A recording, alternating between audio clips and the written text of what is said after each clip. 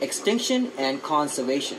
This video is going to mainly focus on animals that are going extinct and the efforts of conserving these animals for future generations and what you as a fish keeper can do to help and how you can help conserve some of these animals and protect them from going extinct in your home aquaria. If you are a new person to my channel, welcome.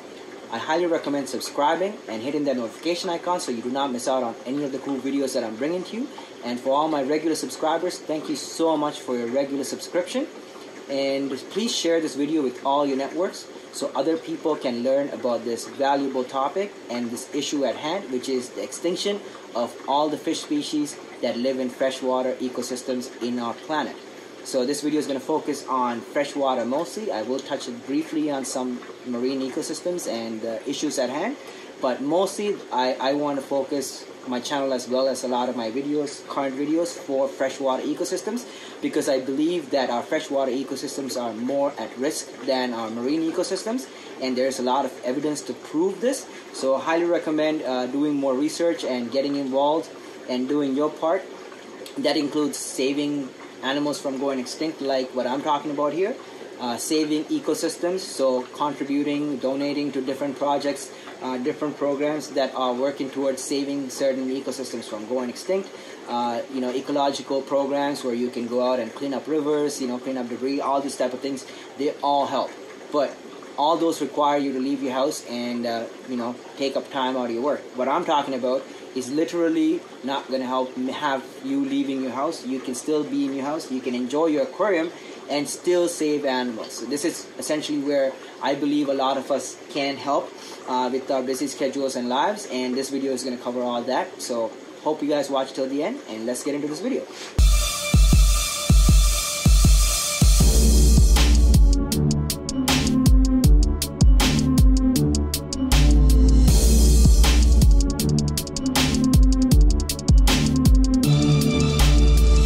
Produced by Malik. Extinction and conservation. So in this video, I'm just going to talk about extinction and conservation of animals that are going extinct, what's the need of it, and why we should be conserving a lot of these animals, and what you as an aquarist can do to help some of the animals that you might even have already in your fish room that you might not even know that they are going extinct in their natural habitat. The reality is we are killing majority of the biodiversity in our planet whether we like to admit it or not, we are directly and indirectly impacting most of the animal habitats or natural habitats in our planet, and in turn, we are destroying the environments a lot of these animals live in, and in turn, the animals themselves. People always point fingers at the aquarium trade or the pet trade or illegal smuggling and so on and so forth as one of the main sources of animal extinction but the reality of the fact is, it is direct human activity like agriculture, development, and other things like dams and so on and so forth that is actually the culprit of a lot of this problem. Now, regardless of who created the problem and why it's happening, there's nothing individually that anybody, any of us can do to stop it except to do our little part that we can, and that is to try to preserve as many of these species as possible in home aquaria. And this is where you come in. You, as an aquarist, has the ability to preserve some of these animals in home aquaria. Like the first thing anybody would think is, yes, zebra plecos. But zebra plecos are not the only animal that needs protection. A really good example is these guys come from a stretch of river that is under threat to human activity, by human activity. And yes, they are flagship animal. They are the water pandas. And yes, they are probably going to be one of the animals that a lot of people are going to focus on preserving, and which is great. But you got to think there's other hundreds and thousands of other animals species that are endemic to that particular river. Uh, not just fish, but also amphibians, insects, uh, mollusks, other types of invertebrates. You know, small animals, plants, other animals that depend on that stretch of river that are all at threat of going extinct. So it's not just fish it's not just these types of fish, and this just not is not just a problem that happens in South America. This is a problem that is in, that is a problem for our entire planet. Pretty much every ecosystem in our planet that is still intact is at threat. There is not a lot of uh, land that is put aside for conservation, and even the land that is put aside for conservation is put aside with strings attached, like with human activity still in there. So the environments are getting degraded daily. So the reality is, a lot of these species of animals, especially when it comes to freshwater fish, for example, will go extinct in the coming decades. So a lot of these animals will no longer exist, uh, and uh, they would not be able to bring them out from the rivers because the rivers would not have them anymore. They would not be able to bring them from other countries because the countries that have them would no longer have them because they would be already extinct by that point. And if we do not preserve some of these animals in home aquaria as much as possible, then chances are these animals will be lost completely to our species. So, like our future generations, like your kids and your grandkids, for example, will never see what a zebra pleco might look like, except in a picture book, just like how I would look at a dodo bird or a, great auk, you know, like which is a penguin-like animal that is separately evolved from penguins, and it has the exact same look and behavioral characteristics of the penguins, and it occupies the same niche in the ecosystem as a penguin, except the great auks live lived in uh, the northern hemisphere uh, in the Arctic, whereas the penguins live in the southern hemisphere. Now, the great auks were completely eradicated by humans in the 1800s, and I now cannot ever see one because they are gone. And this is an animal I truly love, and I, I really would love to see one. And I've only seen stuffed specimens and pictures that were hand drawn by other people. The same thing applies to a lot of types of birds, same thing applies to a lot of types of fish. A lot of the fish that are in our were in our ecosystems have gone extinct and that we cannot no longer see them or bring them back to life or have them in our aquariums or even for our kids to see them in the future generations except to show them pictures and say look how biodiverse our planet used to be. So this is a real real problem. We are not the only species living on this planet. We are just one of millions of other animals that live different types of animals that live or cohabit coexist together in this planet, and all of our existence depends on all of us being alive. All these ecosystems are, are interdependent on each other, and uh, if you guys have been following a lot of my channel, you might know that I always talked about balancing your aquarium and uh, the, the role the snails might have to play with your fish, or the, the, the role the bacteria might have to play with your fish, and all this stuff. So everything is interdependent on each other. So when people think that okay, it's an animal that lives in another part of the world, does not affect me, it truly does actually affect you. When a lot of these animals go extinct, their ecosystems will also collapse because they're no longer being functional the way that these ecosystems have evolved to function because they've evolved with these animals together. So the ecosystem and the animals evolved together to where it is, and the animals have a significant role in maintaining the ecosystem as it is. Uh, so without the animals, that ecosystem will also collapse. And it means essentially that a lot of these river and stream and lake ecosystems are no longer going to be habitable by a lot of the animals that used to live in them. So until people become more intelligent about this problem and we are more conscious about our own impact on our planet, this will continue to happen and there's nothing most of us can do. So, I mean, I don't want to be a helpless human being that is going to put up my hands and say there's nothing I can do, so therefore I'm just going to not do anything. There is something I can do, which is to try and save as many different species as possible. And this is the Invisible Ark. This is the the CARES uh, priority fish list. There's a lot of different programs. There's fish clubs that uh, participate in these type of programs. There's all kinds of different things. There's a lot of independent uh, conservationists and collections of animals and breeders and so on and so forth. And all these people play a key and vital role in preservation and conservation. And this is essentially why I want to make this video, and I'll probably make more videos like this for you guys. This is going to be a one-shot straight video. I'm probably not going to do too much editing. But essentially what I want to say is when you think of conservation, a lot of people automatically assume zebra plecos. Yes, zebra plecos do need our protection. Aside from zebra plecos or other types of plecos, which are a lot of them are probably endangered or at the risk of going extinct due to like habitat loss and so on and so forth, you have to realize that the the earth is a large place with so many different small microhabitats like the Amazon, or you know, so, so many macro habitats like the Amazon. So uh, there might be rivers that are in Borneo that are being clear cut. The you know the, the forest is being clear cut, so the river is being damaged or degraded. Uh, mining could be happening, and the animals that come from these particular spa- spaces are no longer going to be able to live in them. So we have to take it upon ourselves to find out all these different types of animals and put them into conservation and breeding programs and the governments and scientific organizations do not have funding allocated for this particular purpose. So it is now left to you guys and us essentially all of us to essentially save these animals from going extinct. So what can you do? Get involved.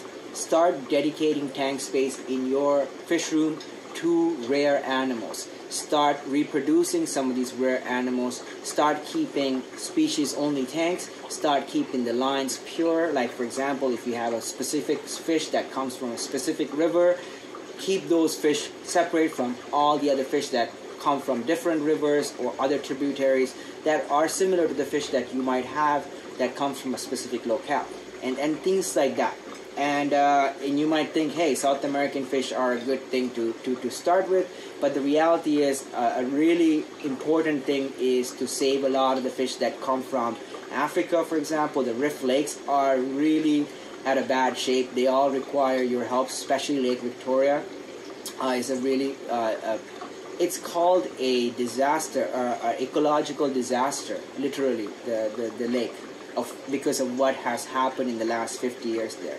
So we really have to take it into account of all these different habitats all, all around the world. Like Borneo, for example, a lot of the animals that come from Borneo are going to go extinct in the next 20 years because of palm oil farming. So, because of our insatiable appetite for this cheap oil substitute, which is really unhealthy for human consumption, it is essentially destroying an entire island's ecosystem. A large island, not a small island, an island larger than most countries, an entire ecosystem from that island is going to be destroyed to, to satisfy our need for this cheap oil substitute, which essentially kills us. You know, like palm oil is one of the most worst things that you can consume, and it's in pretty much all of our food.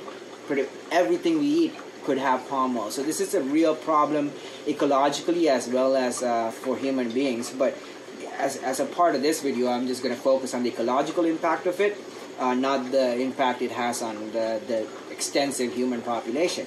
So having said that, these environments that are being destroyed for human purposes, the animals that come from it really do need your help. Not just the fish, the, the flora, uh, and the fauna. So flora is the plant life, and the fauna is the animal life. The invertebrates, uh, the, the, the frogs that might live in them, the snails, the reptiles, the amphibians that might inhabit them, the various kinds of insects. You know, so there's a lot of different animals that you you can help with. And uh, so start small. Start with some easier fish. Uh, it, like an insurance colony is just an, a group of animals that you are breeding and keeping that is extinct already in the wild or pretty much critically endangered and at the brink of extinction. And a good example of uh, insurance colony is obviously these guys. Another good example of insurance colony is uh, albonubes, which is the pure strain of white clouds. Uh, so if you can get uh, pure white cloud minnows, I, I do have some. Uh, I've had this group or this particular line or whatever it is called now. Um, for the last probably five or six years. Uh, they breed in my tanks. They're quite prolific, quite easy to breed, uh, quite beautiful when they're small as well as when they're large. And uh, they're really nice when they're small, though, actually. When they're really small, when they're about half inch, they're gorgeous fish. They call the poor man's neon tetra. And you might think, yeah, the, the white cloud minnows are very prolific fish. There are so many of them in the hobby. But the problem is, many of the fish you are going to find at pet stores and stuff are not the pure uh, albonubes. The, the ones you are going to find most of the world right now are going to be hybrids between several different Tanichthys species. So uh, to keep pure animals is, is essentially uh, key to conservation uh, at, at this level. So you want to make sure that you are not mixing uh, different animals that could potentially hybridize and, and weaken the line that you might have or the genetic makeup of the particular fish that you might have. So really pay attention to that one detail and uh, keep the species in their own tanks with other fish that they cannot interbreed with. Uh, if you can keep them specifically in, the, in a tank by themselves, that's even more ideal. And uh, essentially, save different types of animals. If you do have different types of water, we all do, check the type of water you have, find out exactly what your water parameters out of the tap are, then look at the fish that live in that particular set of parameters that require your help and keep those fish because then you're not going to be forced to change your water or alter your uh, parameters or do anything you can just take water out of your faucet and do a water change which is going to make it easier for you which is going to make sure that uh, which is going to guarantee that you're not going to be overwhelmed keeping these animals long term, which is the goal. You have to be able to keep them long term. So to do that, you would want to keep things that are not a big strain on your time and your space and your lifestyle. So like if you do have a large enough fish room and RO machine and, and, and can produce tons and tons of RO water for real cheap, then yes, you can keep most of the different animals that come from all over the world. But for the people that have a few tanks, don't have a large setup like that, don't have an RO machine, and are using tap water like myself, um, all my fish live in tap water, and that's why I keep these types of fish because these are the type of fish that do best in my tap water. So it's, it's that simple. If I could if African cichlids did better in my tap water than these guys, I would purely keep fish that come from Lake Victoria and many of the other uh, African small lakes and rift lakes and stuff like that, and fish that come from Madagascar and stuff. But they require a little bit more hardness than what I have naturally out of my tap, so that requires me to do a little bit more more work. And uh, in with the busy schedule, it's a little bit difficult. But uh, when I do have a larger facility, that's another thing I want to do is keep a lot of the animals that come from different parts of the world in their own rooms. Actually, like so, I'll have one room for African fish, one room for South American fish, one large room for Asian fish, so on and so forth. That's a that's a goal that I have for my future fish room, and I uh, hope that becomes a reality soon, so I can actually do more with the fish, uh, different types of fish but at this moment I am limited to the tanks that I have and limited to the type of water that I can get out of my tap. And uh, I'm limited to keeping the type of fish that I can in the water that comes out of my faucet directly. So the most of the fish that you see in my fish room live direct in direct tap water that comes directly out of my tap. I do alter it a little bit for breeding. I might put a little bit of oak leaves make the water a little bit softer. Uh, I might use the nitrate resins to extend the amount of time the the acids can build up in the tank uh, over time, or to reduce the amount of water changes I do, so that the water is a little bit more stable over time. And uh, but aside from that, I don't have to do much to keep many of these animals. I can keep this entire fish room running while having a full-time job of like 60, 60 plus hours a week. So that's where you want to be because a lot of us do have other jobs out outside of this uh, fish hobby. So like we're not, I'm not asking any of you guys to quit your day job and start breeding endangered fish for a living, but you will also make some money from breeding some of the rare endangered animals because they do, especially in the hobby, they do collect a decent amount of money uh, when you do sell offspring, and there's a huge demand for a lot of these animals because they're no longer available uh, in the hobby for a lot of them. So, um, you know, like do some research, find out what types of fish need your help that you particularly can help with your own water and your own setups, and then start going from there and uh, join a fish club. You know, I, am a new member of the Peel Region Aquarium Club.